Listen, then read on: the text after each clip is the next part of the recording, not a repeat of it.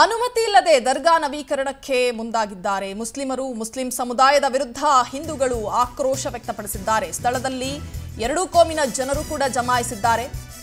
ದರ್ಗಾ ನವೀಕರಣಕ್ಕೆ ಅನುಮತಿ ಇಲ್ಲದೆ ಮುಂದಾಗಿರುವಂಥದ್ದು. ಮುಸ್ಲಿಂ ಸಮುದಾಯದ ವಿರುದ್ಧ ಹಿಂದೂಗಳು ಆಕ್ರೋಶ ವ್ಯಕ್ತಪಡಿಸಿದ್ದಾರೆ.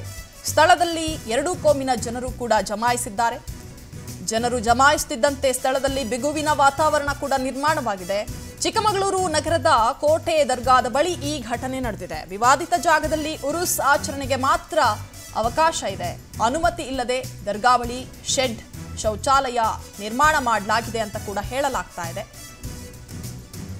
ಸ್ಥಳದಲ್ಲಿ ಎಸ್ಪಿ, ಎಎಸ್ಪಿ, ನಗರಸಭೆ ಅಧ್ಯಕ್ಷ ಸರ್ವೆ ಮಾಡ್ತಿದ್ದಾರೆ. ಅಧಿಕಾರಿಗಳು ಮೊಕಾಂ ಹೂಡಿದ್ದಾರೆ. ಸ್ಥಳದಲ್ಲಿ ಡಿಎಆರ್ ಹಾಗೂ ಪೊಲೀಸ್ ತುಕಡಿಗಳು ಬೀಡು ಬಿಟ್ಟಿವೆ ಇನ್ನು ಸ್ಥಳದಲ್ಲಿ ಜಮಾಯಿಸಿರುವಂತಹ ಗುಂಪುಗಳನ್ನ ಪೊಲೀಸರು ಫ್ರೀಡಮ್ ಆಪ್ ಅಲ್ಲಿ ಕಲ್ತು ಹಾರ್ಡ್ವೇರ್ ಶಾಪ್ ಮಾಡಿದ್ದೀರಾ? ಹಾಗಾದ್ರೆ ನಿಮ್ಮ ಪ್ರಾಡಕ್ಟ್ ಗಳನ್ನ ಒಂದು ಕೋಟಿಗೂ ಹೆಚ್ಚು ಫ್ರೀಡಮ್ ಆಪ್ ಬಳಕೆದಾರರಿಗೆ ಯಾವುದೇ ಖರ್ಚಿಲ್ಲದೆ ಮಾರಾಟ ಮಾಡಿ.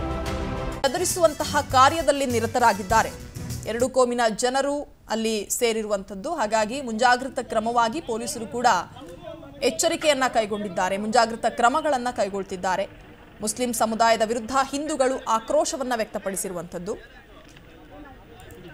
ಅನುಮತಿ ಇಲ್ಲದೆ ದರ್ಗಾ ನವೀಕರಣಕ್ಕೆ ಮುಸ್ಲಿಮರು ಮುಂದಾಗಿದ್ದಾರೆ ಅಂತ ಹಿಂದೂಗಳು ಆಕ್ರೋಶವನ್ನು ವ್ಯಕ್ತಪಡಿಸಿದ್ದಾರೆ. ಈಗ ಆ ಸ್ಥಳದಲ್ಲಿ ಎರಡೂ ಕೋಮಿನ ಜನರು ಜಮಾಯಿಸಿರೋದ್ರಿಂದ ಪೊಲೀಸರು ಕೂಡ ಮುಂಜಾಗ್ರತಾ ಕ್ರಮಗಳನ್ನು ಕೈಗೊಂಡಿದ್ದಾರೆ.